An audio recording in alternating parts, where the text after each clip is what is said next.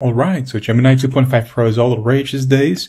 And as you can see here in Chatbot Arena, you have it just being at the top of the ranks. These are, of course, you know, an abstraction of what their the models are capable of. You should always have your own evaluations, but generally it's just flying through with passing colors in um, most benchmarks.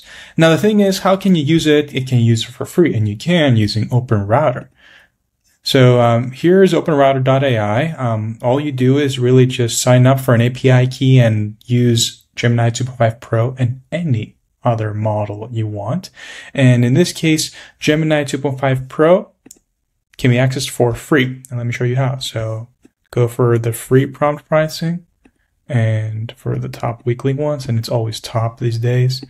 Here you go.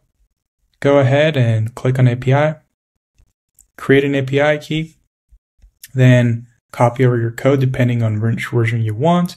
You know, I use OpenAI TypeScript, and that's it. Just create an API key. Go ahead, give it a name, Gemini, copy it, and that's it. Happy coding.